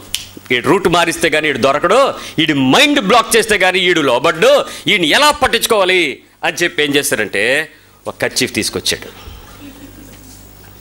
దీనికి వాగ్దానం ఉంది ముద్ర ఉంది. ఒకవేళ నీకు గనక కాలు ఇరిగిపోతే దీని మీద గనక ఆ చెయ్యి ఇరిగిపోతే చెయ్యి మీద వేసి ఏ సునామలో అని ప్రార్థన చేస్తే చెయ్యి ఎత్తుకుపోయింది అయ్యగారు ప్రార్థన చేయగా అయ్యగారు కచ్చి పట్టుకొని ఓకే యాడ్. ఓ ప్రమో. ఒక ఛానల్లో తొమ్మిది నుంచి పది. మీరు ఆ ఛానల్ మార్చండి. పది నుంచి పదకొండు వేరే ఛానల్లో మళ్ళీ నెక్స్ట్ పదకొండు నుంచి పన్నెండు మూడో ఛానల్ పన్నెండు నుంచి ఒంటి నాలుగో ఛానల్ సాయంత్రం వరకు గొడ్డే. బ్రాండ్ అంబాసిడర్లు ఎంతమంది లేరు ఇక్కడ?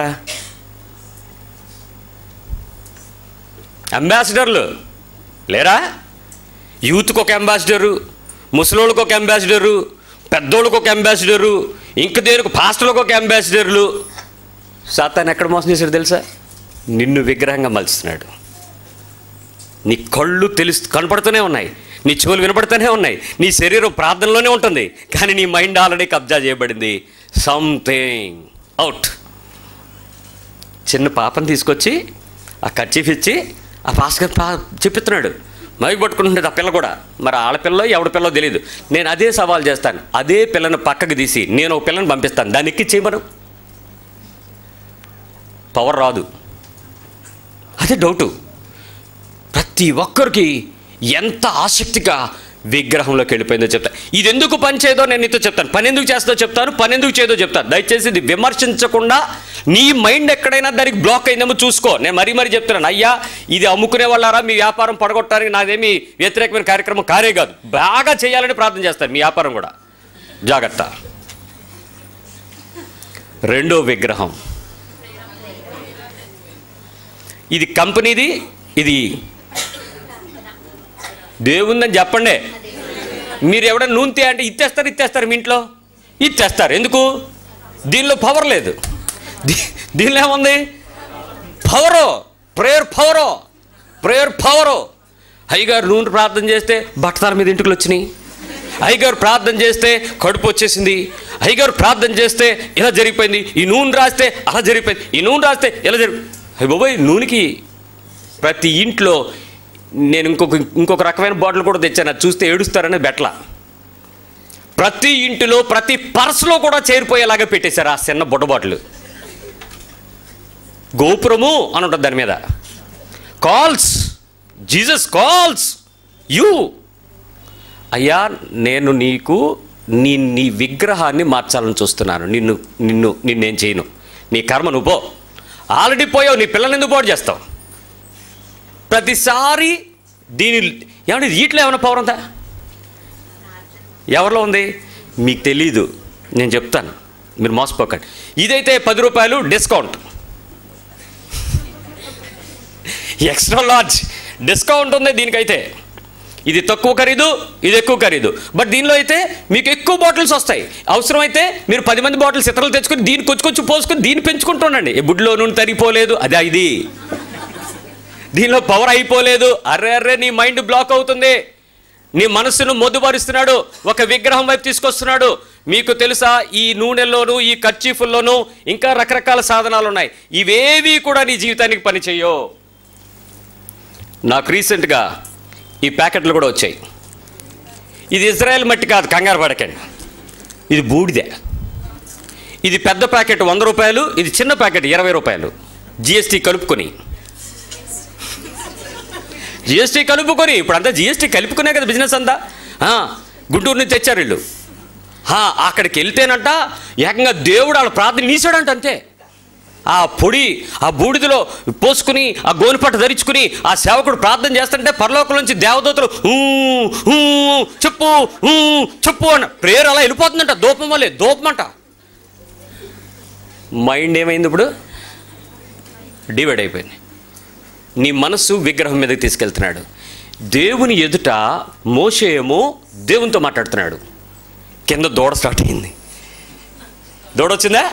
అహరోన్ ఏం చేశాడు? దూడం దా ఎప్పుడైతే దేవునితో నీవు మాట్లాడడానికి ప్రయత్నం చేస్తావో దేవునితో మాట్లాడుకునే మాటకు వినటానికి ప్రయత్నం చేస్తావో దేవుని మాట తీసుకోవటానికి నీ హృదయాన్ని సిద్ధపరుస్తావో సాతాను అదే ప్రదేశంలో నీకు ఒక విగ్రహాన్ని పెడతాడు. ఆ విగ్రహము నీకు అర్థం కాదు మనుషులు సాగిలు పడేలా చేస్తాడు. అది అదే సేవకుడు మాట్లాడతాడు. ఇదే దేవుడు అని అంటాడు. నేను అడిగాను నీకు దేవుడు చెప్పాడా అని. దేవుడు చేయమన్నాడా ఈ విషయం? దేవుడు చెప్పాడా? దేవుడు ఇలాంటి పనులు చేయమంటాడా? ఇది విగ్రహం కాదా? అని అడిగితే ఆడ విశ్వాసం అండి నాకేం సంబంధం? అన్నాడు ఆయన ఇప్పుడు నీ విశ్వాస మనోనేత్రాలకు యుగ సంబంధమైన దేవత ఏం చేసింది? గుడ్డితనం కలుగు చేసింది. యువర్ బ్లాక్ అయిపోయావు. డిస్కౌంట్ కొంచెం కొంచెం తీసుకెళ్ళి పంచుతావా? పెద్ద ప్యాకెట్ కొనుక్కొచ్చి నువ్వేమైనా బ్రాంచ్ పెడతావా? నీకు తెలియదు కదా చాలా బ్రాంచ్లు ఉన్నాయి విశాఖపట్నంలో. ఈ నీళ్ళే తాగాలి. ఇది జీవజల ఓటర్ ఇది వాడి కడుపులో నుంచి జీవజల ఓటలు పొంగి పర్లిపోతాయి. మా టెంపుల్లోనే కొనండి. మా ఏరియాలోనే కొనండి. మా దగ్గరే కొనాలి. ఎందుకో తెలుసా? ఇది బయట ఇరవై రూపాయలు అక్కడ యాభై రూపాయలు జిఎస్టీతో కలుపుకొని. ఎందుకు? మీకు తెలీదు. దీనిలో ఏముంది? పవరో? పవరు? పవర్ వాక్యంలో ఉంటుందా? బాటిల్లో ఉంటుందా? నీటిలో ఉంటుందా? నూనెలో ఉంటుందా? బూడిదలో ఉంటుందా? మన అపోహ ఏ స్థాయికి వెళ్ళిపోయిందనంటే ఒకప్పుడు వేలంగిని దగ్గరికి వెళ్ళి ఆ చెన్నై దాటి వెళ్ళిపోయి అక్కడి నుంచి వచ్చిన ప్రతి ఒక్కడు ఆ నీళ్ళు ఆ బాటిల్ వేసుకుని ఖచ్చితంగా తెచ్చేస్తారంతే. ఒక క్యాండిల్ ఒక బాటిల్. మా ఇంట్లో కూడా ఉండేది కొద్ది రోజులు. నేను అడిగేది ఏంటి అమ్మాయి ఇది? అరే నీకు తెలియదురా దీనికి పవర్ ఉందని వెళ్తే చూద్దాం పవర్ అని. ఏమీ లేదు పవర్ విగ్రహంగా మారిపోయింది మా ఇంట్లో చాలా రోజులు. మనుషులు విగ్రహానికి తీసుకెళ్తున్నారు.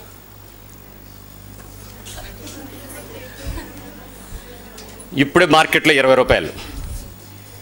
నాలుగు రూపాయలు ఒకటి. కానీ ఈ అరటిపండు మీరు కొనుక్కొని తింటే గర్భఫలం దొరుకుద్ది. ఏంటి అలా చూస్తారండి? నువ్వు ఫ్యామిలీ ప్లానింగ్ ఆపరేషన్ చేసుకున్నాక ట్రై చేయి. రీకానలైజేషన్ అక్కర్లే ఎట్టుపండి తిను. పుత్రదాత వృక్షఫలం. అవండి అడుగు అమ్ముకునేవాడికి సిగ్గు లేకపోతే కొనే నీ మైండ్ ఏమైంది? ఆడు వ్యాపారం బయట సాక్క దీనికి వచ్చాడు. ఈ వ్యాపారం హైదరాబాద్లో అట్టిపళ్ళు దొరకలేదని ఇక్కడ ఎవడు దానిమ్మకాయలు అమ్ముతున్నాడు రాజమండ్రిలో? అవును అక్కడ ఏం దొరుకుతుందో అమ్ముతాడు? విగ్రహము. విగ్రహము. తెలియనోడు దీని గురించి రీసెర్చ్ చేయకండి అమ్మా ఏనండి అంతే. అనవసరం ఇదేంటో అనుకుని వెళ్ళి మళ్ళీ దానిలో విగ్రహం ఏం చేస్తుంది మిమ్మల్ని? ఆకర్షిస్తుంది. అటువైపు చూడంటది తెలుసుకో అంటది ఏముంది ఒకసారి చూస్తే పోయేదేముందలే అయినా మనం ముద్దు పెట్టుకుంటామా దండం పెడతామా సైకిల్ పెడతామా విగ్రహానికి ఏమైనా మొక్కు చెల్లిస్తామా ఏమైనా ఏముండవు కదా. ఒకసారి చూస్తే పోలే అయిపోయావంతే విగ్రహము నిన్ను చాలా ప్రదేశంలో చేంజ్ చేస్తుంది ఇప్పుడు? రైట్. ఇవేవి నేను తప్పని నేను మీతో వాదించడానికి నేను చెప్పట్లా. నేను నీకు ఒక మాట చెప్తాను విను. నేను ప్రార్థన చేశాను. మార్క్స్ వార్త. ఆ వచనం చూడండి తొమ్మిదో అధ్యాయము ఇరవై మూడో వచనం చూడండి. Mark nine twenty three.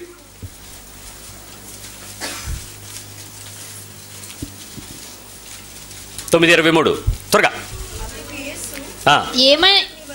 నమ్ముట నీ వలన అయితే. సమస్తము సాధ్యమే. ఒక సిస్టర్ ప్రార్థన చేస్తున్నప్పుడు నేను పక్కన ఉన్నాను. నేను పాస్టర్ అని ఆవిడకి తెలియదు సిస్టర్ అంటే నర్సు. మన ఆత్మీయ సోదరి కాదు sister. Nurse nurse sister. Medical nurse. హాస్పిటల్లో రోగికి విశ్వాసంతో సువార్త చెప్పి ప్రార్థన చేస్తుంది. ప్రభు ఇదిగో నాయన అయ్యగారు నూనె రాస్తున్నాను. నమ్ముట నీ వలన అయితే నమ్ముచున్న నీకు నమ్ముచున్న ఈమెకి సమస్తం సాధ్యమేనని చెప్పావు. ఎలాగో ఒకలాగా నార్మల్ డెలివరీ చెయ్యి. నేను నమ్ముతున్నాను అని ప్రార్థన చేస్తుంది. అడిగాను. అమ్మ వాక్యం మళ్ళీ చదువు అన్నాను. ఏమని చదవండి మీరు? అందుకు. నమ్ముట నీ వలన నమ్మడం నీ వల్ల కనుక అయితే అంటే అవుద్దా అవదా? నిజం చెప్పనా? అవ్వదు. అక్కడ అసలు నీకు పాసిబిలిటీస్ ఇంపాసిబిలిటీస్ మధ్యలో నువ్వు ఊగుతావు. నీ నమ్మడం కనుక నీకు వల్ల అయితే అయితే. నమ్మువానికి సమస్తము. ఎవరా నమ్మువాడు? ఇక్కడ ఎన్ని గందరగోళాలు వస్తాయి తెలిసే అప్పుడు? మనం గనక నమ్మితే అప్పుడు అయిపోద్ది అనుకున్నాం. కాదు.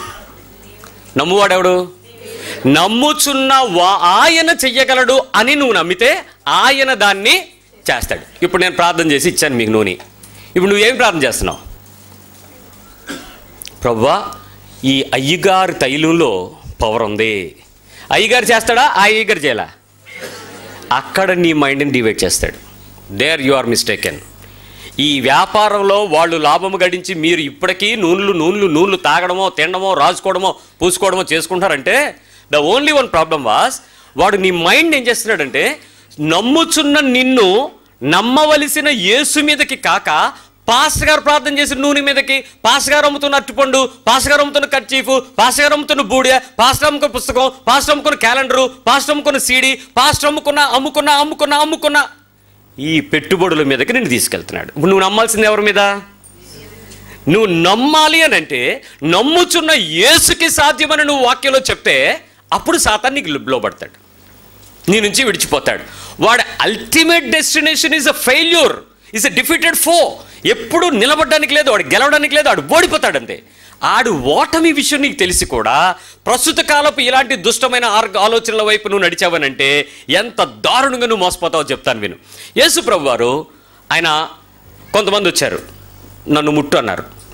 నిన్ను ముట్టడం నాకు ఇష్టమే అన్నాడు. ముట్టాడు. వాళ్ళకి స్వస్థ వచ్చిందా లేదా? దే గాట్ హీలింగ్ వాళ్ళు కొంతమందికి ప్రార్థన చేయమన్నారు. అప్పుడు చేశాడు. అందరి మీద రోగుల మీద చేతుల నుంచి ప్రార్థన చేసాను అందరూ స్వస్థ పొందారని ఉందా లేదా? స్వస్థపరచబడ్డాడు. ఆయన ఒకసారి బట్టను పట్టుకుని వచ్చి ముట్టుకుంది. ఏమైంది? నీ నమ్మకం నీ విశ్వాసం నీ స్వస్థపచ్చింది తెలుపు అన్నాడు. స్వస్థ వచ్చిందా లేదా? రక్తధార కట్టిన అని ఉంది బైబిల్లో. నడుము వంగిపోయినటువంటి వ్యక్తి ఏ లే నిలబడన్నాడు. వచ్చిందా లేదా మాటలోంచి? స్వస్థ. చనిపోయి తిరిగి లేచిన ఆయన రక్తంలో స్వస్థ ఉందా లేదా? నేను చెప్తున్నాను చూడండి మళ్ళీ. ఆయన ఉమ్మి వేసి బురద చేసి కడుపు ముట్టినట్టు ఏమైంది స్వస్థ? వచ్చిందా లేదా? చెవులు పెట్టి ఎఫాతా అన్నాడు. వచ్చిందా లేదా? బైబిల్లో కుష్ఠోడు దగ్గర నుంచి చచ్చినోడు లేచినంత వరకు ఆయన చేసిన అద్భుతాలు ఎన్నోనే ఉన్నాయి. అవన్నిటిని బట్టి యేసుని వెంబడించిన వాళ్ళు ఎక్కువ మంది ఉన్నారా? దేవుని మహింపరిచిన వాళ్ళు ఎక్కువ మంది ఉన్నారా? ఆయన్ను చంపిన వాళ్ళు ఎక్కువ మంది ఉన్నారా? నేడు రివర్స్. యుగ సంబంధమైన దేవత పాస్టల్ని సెలబ్రిటీలను చేసింది. మారిందా లేదా? యాక్చువల్గా ఏం జరగాలి? అద్భుతాలు ఆశ్చర్యాలు విడుదలలు సూచక్రియలు మహత్కార్యాలు జరిగితే ఆ పాస్టర్ చంపబడాలి. హీ షుడ్ బి క్రూసిఫైడ్ వాడు చంపేయాలి అతన్ని. అతనికి శిక్షించాలి. అతన్ని అవమానపరచాలి. అతన్ని అనేక రకాలైనటువంటి పరిస్థితులు యేసుక్రీస్తు ఎందు విశ్వాసంతో ఉన్నారా లేదా అనేది మనుషుని చూపించాలి. అది ఎక్కడ జరుగుతుందా? బౌన్సర్లు ఉంటారు. ఎవరిని వస్తే దబ్ దబ్ నాలుగు పీకి లోపల తీసుకెళ్ళిపోతారు. ప్రేమించమని చెప్తున్నాడు బౌన్సర్ ఎందుకు? గన్మెన్ ఎందుకు? జడ్ గాడిగడి సెక్యూరిటీ ఎందుకు? బుల్లెట్ ప్రూఫ్ వాహనాలు ఎందుకు? నీ యుగ సంబంధమైన దేవత నిన్ను ఇంకా అలాంటి వాళ్ళు వస్తే పరిగెత్తమని చెప్తుంది చూడండి. వెళ్ళు వెళ్ళు పర్లేదు ఒకసారి వెళ్ళు. అంత దూరం మనం వెళ్ళాం బెల్లంపల్లి ఇక్కడికి వచ్చింది. పద వెళ్దాం పద. I'm not against to the pastor నాకు వాళ్ళ మీద ఏ కోపం లేదు. వాళ్ళు చేయాల్సిన పని వాళ్ళని నడిపిస్తున్న దేవుడా దయ్యమా నీ కళ్ళు ఏమైంది? నీ బుద్ధితనం ఏమైంది? నీ బుద్ధిని ఎక్కడ వాడు డివైడ్ చేస్తున్నాడు? ఎక్కడ పవర్ దేవుని దగ్గర ఉందా? వ్యక్తుల దగ్గర ఉందా? ఎందుకు ఈరోజు వ్యక్తుల్ని సెంట్రలైజ్ చేస్తున్నాం మనం? ఈ వ్యక్తి దగ్గర ఇది ఉంది అని ఎందుకు నమ్ముతున్నావు? అక్కడే నువ్వు మోసపోయావు. నీ నోట్లో ఏముండాలి? వాక్యము. నువ్వు దేనిలో ప్రతి చేయబడాలి వాక్యము నువ్వెవరి దగ్గర కావాలి వాక్యము. నువ్వెవరితో నిలబడాలి? వాక్యము. నువ్వేం చెప్పాలి? వాక్యము. ఇంతకు మించి నీకు ఇంకో మార్గం లేదు. బైబిల్ చదవడం రాదు. నీకు ఇన్లాన్ లెటర్ వచ్చింది. అదే పోస్ట్ కార్డు వచ్చింది. లేక ఏదో మెయిల్ వచ్చింది. నీకు చదవడం రాదు. ఏం చేస్తావు? చింపేస్తావా? పోతావా? చదివించుకుంటావుగా? సావు వెళ్ళి. అంతే. ఏదో తెప్పలపడు నేర్చుకో. ఆడియో మెథడ్స్ ఉన్నాయి. రకరకాల పద్ధతులు చదువు అంటే వాక్యం చదివి నేర్చుకో విని నేర్చుకో గ్రహించుకో అర్థం చేసుకో ఆలోచించు నేర్చుకో. దాని గురించి బతుకు. వాక్యం నుంచి ఇలా తప్పిపోయడానికి ఇలాంటివి ఎన్నో సాధనాలు రాబోతున్న కాలంలో ఇంకా చాలా వస్తాయి. మొన్న ఒక గారు చెప్తున్నారు మా పాస్టర్ గారు ఇదేంటో తెలుసా? అన్నాడు. ఏంటిది? ఇదేదో మామూలుగానే ఉందని నాకైతే క్లియర్గా నాకు అర్థమైపోయింది. అదేంటో? ఏంటో తెలుసా? ఒక చిన్న ప్యాకెట్లో తీసుకొచ్చాడు. అవి గోర్లు. గోర్లు నెయిల్స్ కట్ చేశారు. ఐగర్ గోల్ అన్నాడు. బా పులిగోరులో నాడు ఎవడో మెడలో వేసుకున్నాడు. ఇప్పుడు నువ్వు ఎక్కడ వేసుకుంటావురా అన్నాడు.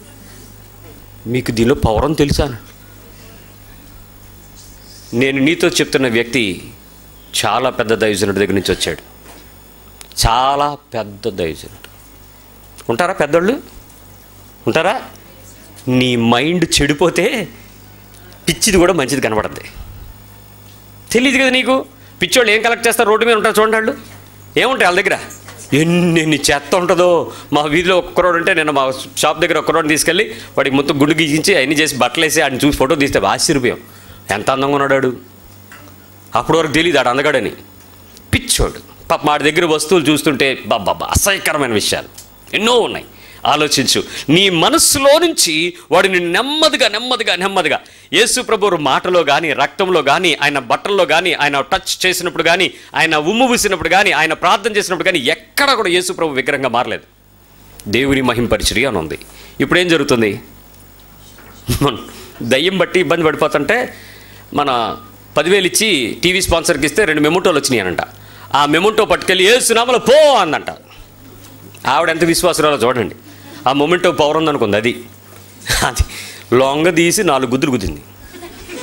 ఇప్పుడు ఈవిడ హాస్పిటల్లో ఉంది. ఏమండి అంటే స్పైన్ డిస్లోకేట్ అయిందండి ఎల్ ఫోర్ అంటుంది. ఎల్ ఫోర్ వరకు ఎందుకు వెళ్ళిందమ్మా అనంటే ఒక గుద్దు గుద్ది దయ్యానికి బలం ఎక్కువ కదా? దీని మొమెంటో పట్టుకెళ్ళటం ఏంటి? వాక్యం పట్టుకెళ్ళచ్చుగా? పదివేలు స్పాన్సర్షిప్ అక్కడ తీసుకెళ్ళింది లాస్ట్కి ఎందుకంటే అక్కడ స్క్రోల్ అయిందంట. స్క్రోల్ అయిందంట. ప్రభు వీళ్ళ బహుగా దీవించను కాక నీళ్ళ మీద దీవెన ఉన్నాయి అనుకుంది అది పట్టుకెళ్ళి. పిచ్చి పనులు చేయకండి. నీకు తెలియకుండా నీ మైండ్ ఏం చేస్తున్నాడు? అలా తీసుకెళ్తాడు. ప్రతిసారి నీ లోపల దేవుని యొక్క వాక్యం క్లియర్గా చెప్తున్న విషయం ఏంటంటే ప్రతి విగ్రహం వెనక ఏముంది? విగ్రహం వెనకతలు ఏముంది? దేవుని శక్తి ఉందా? దయ్యం ఉందా? ఏ విగ్రహం అయిందా? నీకేదైనా భయం వచ్చిన వెంటనే నువ్వు దేని నమ్ముతావు చెప్పండి. ఇప్పుడు ఇవన్నీ మీ ఇంట్లో. దేన్ని నమ్ముతారు? రాత్రి కడుపు ఉబ్బిపోయింది. అది గ్యాస్ నొప్పో తెలియట్లేదు హార్ట్ నొప్పో తెలియట్లేదు. ఇప్పుడు ఏది వాడతావు? ఒకదాని తర్వాత ఒకటి స్టార్ట్ చేయండి ముందు నూనె. తర్వాత ఆ, ముందు నీరు ముందు నీరు కదా? ముందు నీరు ఓ రెండు చుక్కలు నీళ్ళు వేసి తాగుతావు. ఓ అన్నావు కానీ అయినట్టు ఉంది. ఏమో ఏమో ఏమో ఏదో గ్యాస్ లాగా. సోడా లాగా. Next oil.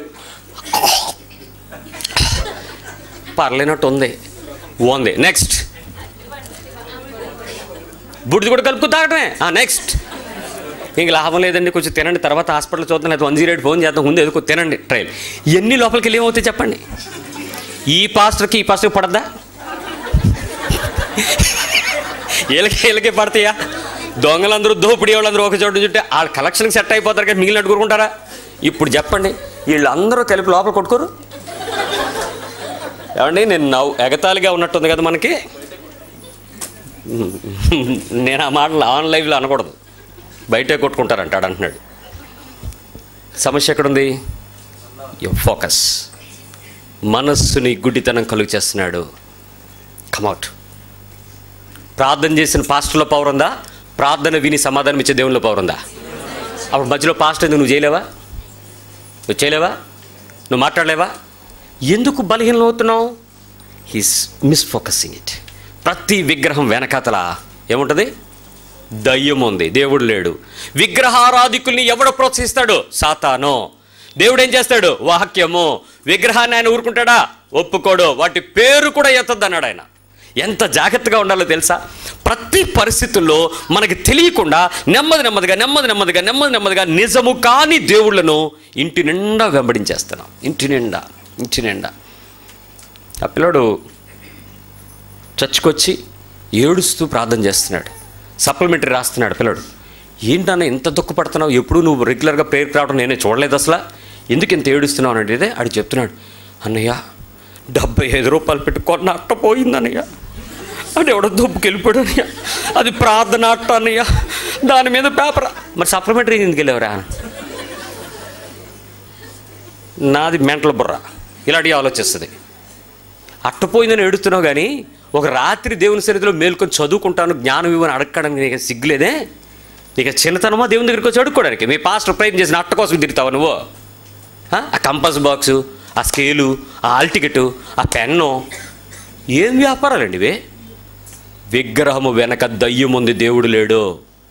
నేను చెప్పట్లేదు బైబిల్ చెప్పింది. నువ్వు అనొచ్చు. అది మనం విక్రంగా చూడకపోతే ఎదవ లాజిక్లు మాట్లాడుకో.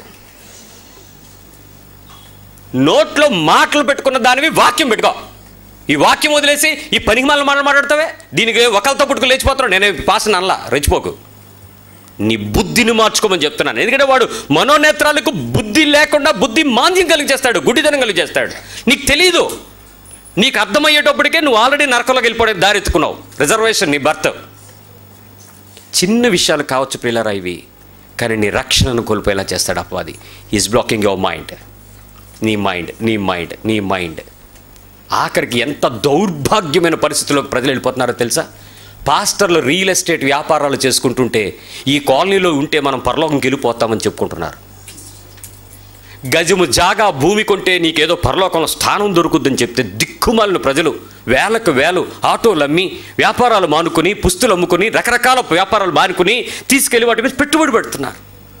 అరే ప్రభువు నిన్ను దేవుని రాజ్యంలోకి తీసుకుని వెళ్తానని చెప్పేటప్పుడు నువ్వు ఆయన మాటను నమ్మితే చాలయ్యా ఈ పెట్టుబడి వ్యాపారాలు ఉండవు ఆయన దగ్గర. వాళ్ళందరూ వచ్చేసిన వేరే విషయాలు. నువ్వు స్వార్థమైన పరిస్థితుల్లోకి నిన్ను తీసుకెళ్తున్నాడంటే విగ్రహము నిన్ను నడిపిస్తుంది. ఎంత జాగ్రత్తగా వాడు ఓడిపోయే లోపు నేను ఏం చేస్తాడు చెప్పండి దుష్టుని లోకం లోకమంతా ఎవరిలో ఉంది?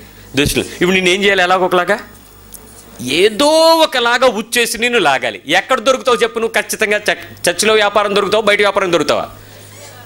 ఎక్కడ వ్యాపారానికే దొరుకుతావు? ఇప్పుడు రేపు నేను కూడా వ్యాపారం మొదలెడితే నాలుగు బాబు బిజినెస్ బాగుంటుంది. కదా? ఒకరోజు ప్రభు మాట్లాడాడు ఆ విషయం. ఎందుకు నువ్వు సీడీలు అమ్ముతున్నావు అని అడిగాడు. ప్రభా వాళ్ళు నేను తయారు చేసి కొనుక్కున్న దానికి పెట్టుబడి అవుతుంది. నేను ఒక్క రూపాయి కూడా దాని మీద వెయిట్ లేదు ప్రభా. అది యాజ్ యూజువల్గా ఎంత అయితే పడుతుందో అది పదిహేను రూపాయలు పడుతుంది. సీ డివిడి అంతకే ఇస్తున్నాను ప్రభా అని. ఆన్లైన్లో పెట్టని అన్ని నీ జ్ఞానం నా జ్ఞానం అని అడిగాడు. అసలు ఇట్స్ యువర్స్ విడిచిపెట్టాను. పిల్లలకు చెప్పాను డోంట్ పర్చేస్ ఇట్ దాని ఖరీదు కన్నా వాడికి ఇంటర్నెట్లో ఉంది దాన్ని తీసుకోమని చెప్పు. Leave it it should be free దేవుడు ఉచితంగా ఇచ్చాడు ఉచితంగా ఇచ్చే. బిజినెస్ మొదలే. లాభాపేక్షతో చెయ్యనప్పుడే దేవుడు నన్ను గద్దిస్తుంటే మరి వ్యాపారస్తులతో దేవుడు మాట్లాడంటారా? మందిరాన్ని ఖాళీ చేయమని చెప్పినప్పుడు నీ మందిరంలో వ్యాపారం పెట్టుకోమంటాడా? దానికి అపాయింట్మెంట్ చేయమంటాడా? దానికి మేనేజర్ని డిస్ట్రిబ్యూటర్ని బీ సీరియస్ నీ మైండ్ ఎటు వెళ్తుంది? వాడు ఎంత చక్కగా అలా పక్క తీసుకెళ్తున్నాడో చూడండి. నేను ఇవి మాత్రమే చూపించగలిగాను. ఇవి కానివి ఎన్ని ఉన్నాయో నీ ఇంట్లో? ఎన్ని విగ్రహాలు నీ ఇంట్లో ఉండిపోయినాయో? మీ పరసల్లో ఎన్ని విగ్రహాలు ఉన్నాయో చూసుకోండి. మీ ఇంటికి వెళ్ళిన వెంటనే క్రైస్తవ విగ్రహాలను ఎత్తకండి మీ అల్మార్లు ఎన్ని ఉన్నాయో తీసుకోండి. నేను చెప్పట్లా బైబిల్ చెప్తుంది వాడు నిన్ను మోసం చేస్తున్నాడు నెమ్మది నెమ్మదిగా నెమ్మది నెమ్మదిగా నిన్ను బలి తీసుకోవడానికి రెడీ చేస్తున్నాడు. కాబట్టి ఈ లోకం సంబంధమైన ప్రతి పరిస్థితుల నుంచి నువ్వు పూర్తిగా బయటకు రావాలంటే నువ్వు చెప్పాల్సింది ఒకటే మాట. కొలసి పత్రిక మొదటి అధ్యాయము పన్నెండు పదమూడు వచనాలను నోటి నిండా నింపుకుని ఖచ్చితంగా చెప్పడానికి పూనుకోవాలి. కొలసి పత్రిక మొదటి అధ్యాయము పన్ పదమూడు ప- ఇదంతా కలిసే ఉంటుంది. కాకపోతే మీరు ఇది చూడండి. పదమూడు చదవండి. ఆయన మనల్ని అంధకార సంబంధమైన అధికారంలోంచి విడుదల చేసి తాను ప్రేమించిన తన కుమారుని యొక్క రాజ్య నివాసులుగా చేశాను. అంధకార సంబంధమైన అధికారంలోంచి మనల్ని ఏం చేశాడు? హీ వాజ్ ఆల్రెడీ నిన్ను రిలీజ్ చేశాడు. నువ్వు వెళ్ళి చిక్కుకోకు ఆచారాలు సాంప్రదాయాలు పద్ధతులు సంఘంలో ఉన్న కట్టుబాట్లు వాటికి లోబడుకో. వాటిలో నుంచి దైవ నియమమునకు లోబడు. దేవునికి భయపడు. దేవుని రాజ్యమునకు వారసులుగా నిలబడు క్రీస్తు చెప్తున్న సంగతులకు అర్థం చేసుకో. అంతేగాని మనుషుల కట్టడలకు నువ్వు లోబడి వాళ్ళ బంధకాల్లోకి నువ్వు ఇరుక్కుపోవద్దని ప్రభు చెప్తున్నాడు. అందుకే కింద వచ్చిన పద్నాలుగు. ఆ కుమారుని యందు మనకు విమోచనము అనగా పాప క్షమాపణ కలుగుచున్నది. మీ పాస్టర్ ఇచ్చే నీళ్ళల్లో లేదు మీ పాస్టర్ చేసే ప్రార్థనలో లేదు మనుషులు చెప్పే ఏ పనులను లేదు. దేవుని యొక్క వాక్యము స్పష్టంగా చెప్తుంది. కుమారుల్లో విశ్వాసం ఉంది కుమారుల్లో విడుదల ఉంది కుమారుల రాజ్య నివాసులుగా నేను ఉన్నాను నేను కుమారుని ఎందు ప్రతిష్ఠించబడ్డాను. నేను కుమారుని రక్తము ఎందు ముద్రించబడ్డాను నేను కుమారుని ఎందు మరణం నుంచి పునరుద్ధరణలోకి వచ్చాననే మాట నీ నోట్లో ఉండాలి. ఇది తప్ప ఎవడు ఏది చెప్పినా నీ నోట్లో వాక్యమే ఉండాలి తప్ప ఏది ఉండడానికి వీల్లేదు. దయచేసి దేవుని మాటను ఎక్కువ సమయం గడపండి.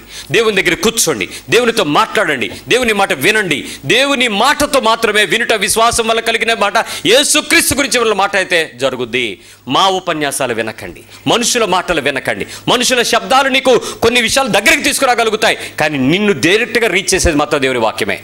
Come close to the word why Bible దగ్గరికి రండి. వాక్యం దగ్గరికి రండి. ఖచ్చితంగా దేవునితో గడపండి. దేవుని వాక్యముతో విశ్వాసంతో ప్రార్థనతో పట్టుదలతో నువ్వు నిలబడితే నిన్ను అద్భుతంగా చేసేవాడికి నడిపిస్తాడు.